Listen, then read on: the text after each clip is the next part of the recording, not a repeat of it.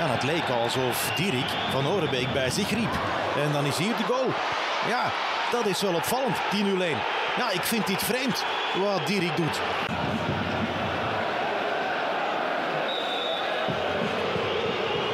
Ja, nee, als je het zo ziet.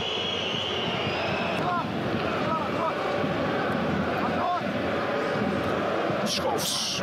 Deze kwartier zit er bijna op en daar is Walsh met het doelpunt.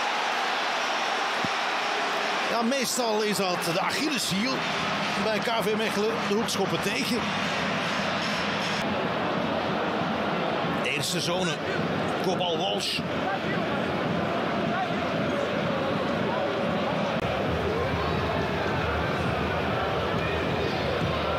Koeken met deze trap die niet zo bedoeld was.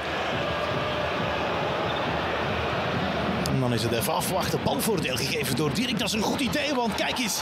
Hier is de tweede goal van de dag van Benchaï. Hier gebeurde het, uiteraard.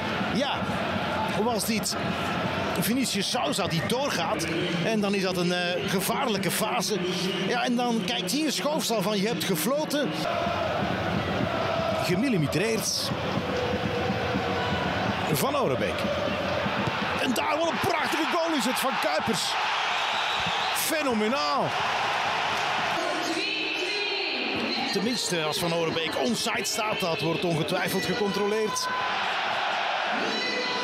Want die uithaal van Kuipers, amai, die mocht er wel zijn.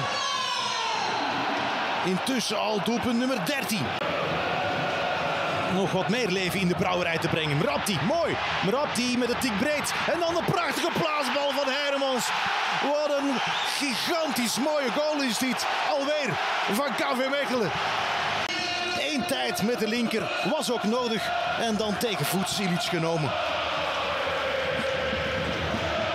Heerlijk. Het is voldoende om geen tegentreffer meer te slikken. Maar daar is KV Kortrijk weer. Met Messaoudi. En dan is er de overtreding. Daar komt de penalty er. Overtreding van Van Orenbeek. Messaoudi.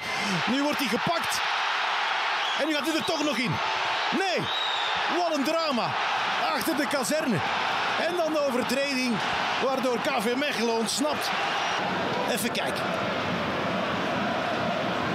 Daar is Sousa. Oeh, dan glijdt hij weg en dan raakt hij die bal helemaal verkeerd. En de own goal die wenkt. Maar intussen is Maliwa ontsnapt. Goh, Perre. Met nog een centimeter over. Van Drongelen met deze vrije trap. Svet. En daar is het verlossende fluitsignaal van Dirk voor KV Mechelen.